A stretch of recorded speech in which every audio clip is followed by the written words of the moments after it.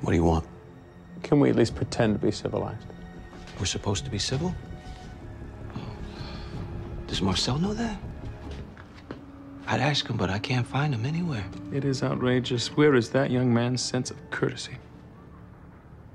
Now, please, invite me in.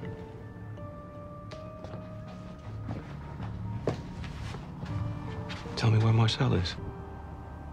Detained until we can be sure that he's free of this thing's vile influence. You Mikaelsons, you always find a way to get right back on top, don't you? Man, I bet you got a plan all figured out. As a matter of fact, I do. A rather festive one. Let me tell you about it. Well, if you're gonna help me fight this thing, you're gonna have to know what it is that you're up against. Come in before I change my mind. Wonderful.